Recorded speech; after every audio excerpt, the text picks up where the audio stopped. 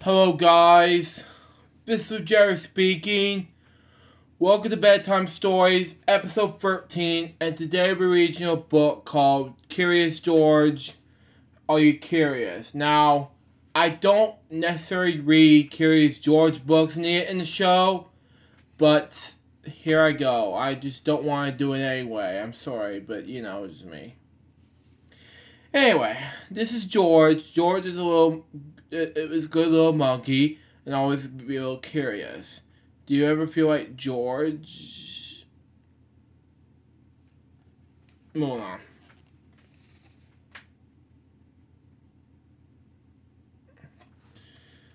Next page.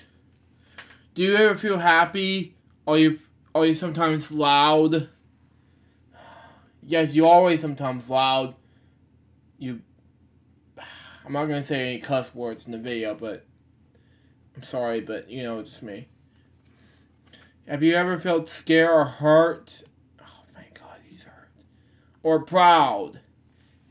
Oh, man. Look at that monkey. Oh my God, sorry, I'm on the wrong page. Look at that. anyway, next page. Cause he's, cause he's, cause he always, cause I love it. Do you ever feel sick? Oh my God, yeah. or dizzy. These pages are really funny to me. I am very impressed. I don't know. Next page. Are you sometimes sad? or silly? Um, this is the only. This is only gonna be one time viewing only, so there you go. I have no idea what to say here. Have you ever been naughty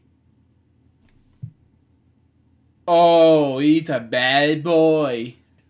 Man, what am I gonna do with George now? Screw him, but yeah, just me.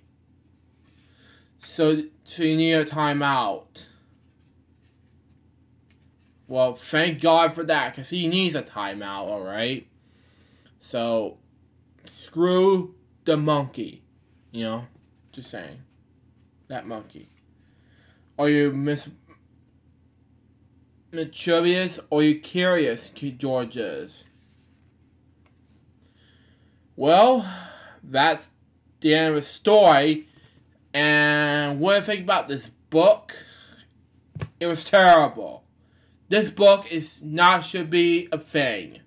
I'm sorry, but why I come up with this ideas of Curious George as a kid, but I used to like Curious George, but not anymore. But it's just me. Anyways, that wraps up the Bedtime Stories episode 12. Stay, I mean 13, sorry. Stay tuned for the next one coming up. But until next time, this is Lou saying goodbye. Peace out, baby. We get more Bedtime Stories for you guys very soon. But until then, the Jeff was saying out. See ya.